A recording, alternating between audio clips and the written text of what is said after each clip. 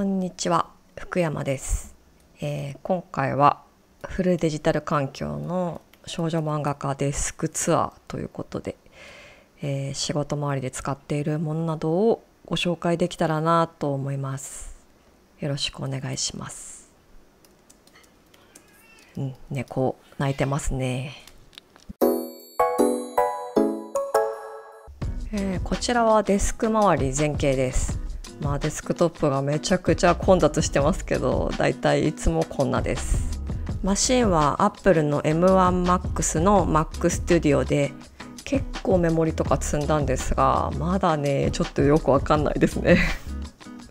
こちらは外付けハードディスクドライブで主にバックアップを担当してもらってるんですけど本当にこの子には何度も助けられました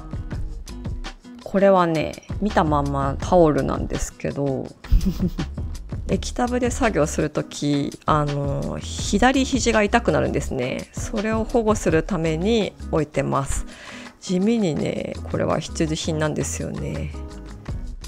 キーボードとトラックパッドも Apple でキーボードは最近指紋認証のに乗り換えました。最高です。最高えー液晶タブレットはワコムの Cintiq Pro 24インチで去年か一昨年ぐらいに買い替えました。で、えーディスプレイは Apple の Studio Display というやつでこれも Mac Studio と一緒に買いました。傾斜はこの角度が一番好きなのでなので雑誌とか本を積んで調整して使ってます。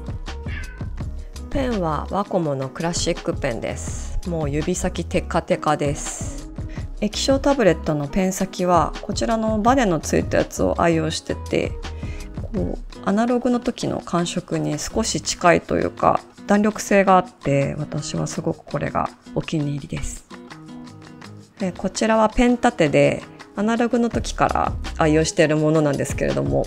いつもはディスプレイの裏に置いてあります、えー人間が使う爪切りと猫が使う爪切りとあとはあの液タブのペンのストローク芯を変えるための道具とかあと漫画家デビュー15周年の時に読者の方からいただいたお祝いの品の一部のプレートとかウェブサイン会の時にいただいたお祝いのプレートとかあとは万年筆とかボールペンも読者の方からいただいたものです。なんかもはやお守りみたいな感じでデスクの上に常にいてもらってます。はいありがとうございます。で机は、えっと、トラックファニチャーのもので前回の Vlog でもちょっとお話ししましたけどデフォルトのやつより奥行きを深めに作ってこうセミオーダーみたいな感じで作っていただいたやつであの液タブとこうディスプレイを置いてもこうゆったり余裕があるサイジングに調整していただきました。猫ですね。猫様のためのカゴです。夏になってから全然寄りつかなくなりました。ちょっと寂しいです。このデスクライトはアナログ時代の時に使ってたんですけどもう全く使ってなくて完全にオブジェですね。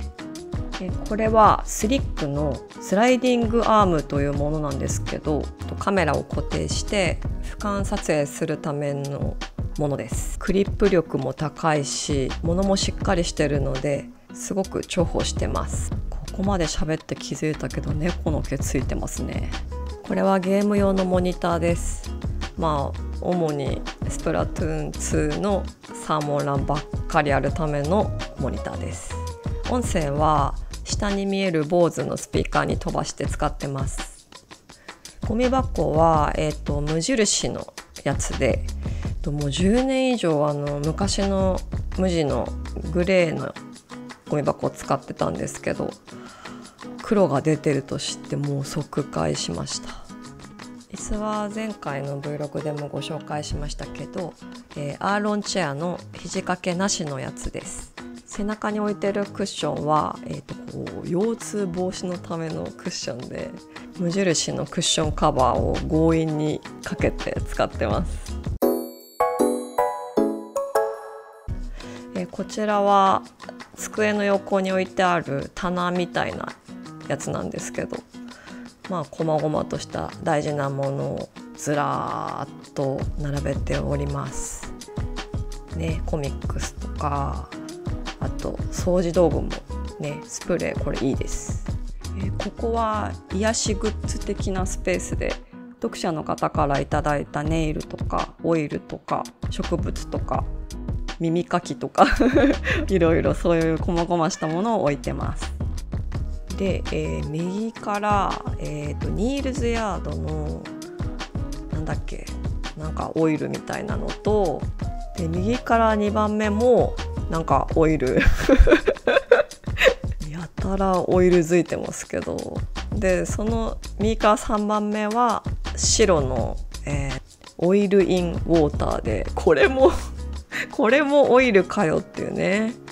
で最後はリプティックのえーと、ハンドウォッシュです。水がいらないやつ。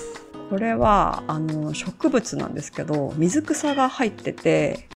えー、すみません猫に呼ばれたのでちょっと行ってきました。えっとこれはその水がいらないんですよね。なんかずっとあの適度な日当たりがあれば伸びていくという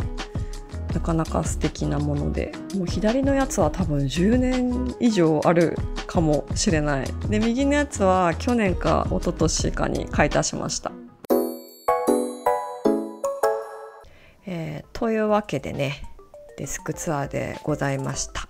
何か他にもご質問等あればコメント欄にぜひお願いします。それでは。